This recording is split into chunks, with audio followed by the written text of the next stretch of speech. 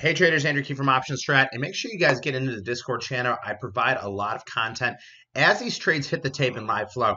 I mean, I've been in this space for over 20 years. I've been trading for over 20 years, so I know what I'm looking for. You know, sometimes you can be like, "Oh my God, this is overwhelming," or you look at this and you say it's overwhelming. But let me show you this one trade, and I gave you guys everybody in the Discord this channel, and this was a big buyer, and you got to always compare it versus how much stock trades in a day, and also a dollar amount. So this morning uh, at 8:42, 12 minutes into the day, some trader somewhere in the world, we never know their stock or option position, bought 3,567 NCLH this week. Okay, so higher gamma, higher theta, higher risk, higher reward of the 20 puts here for 31 cents. You can see this is bearish activity. They swept them from all exchanges.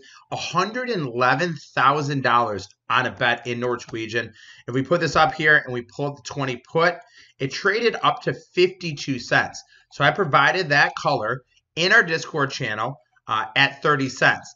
If you got in at 30 and potentially got out at 50, that would have been good for 67%. You can see the big volume spike here using the live flow.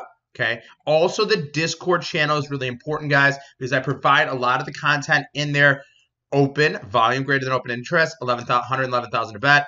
If this trader took these off at 50, that would have been good for about an $80,000 profit in about an hour. This is Andrew Keene from Options Strat. Thanks, traders. And this is Put in Norwegian.